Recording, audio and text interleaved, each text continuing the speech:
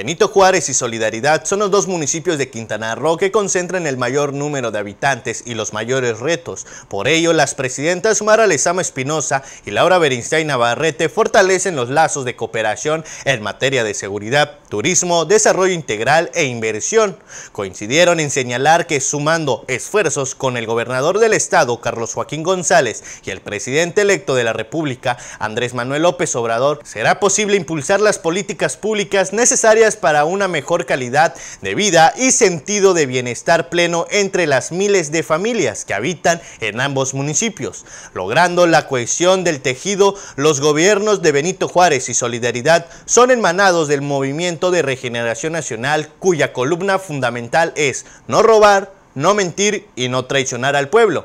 Tres valores necesarios para lograr la cuarta transformación de México.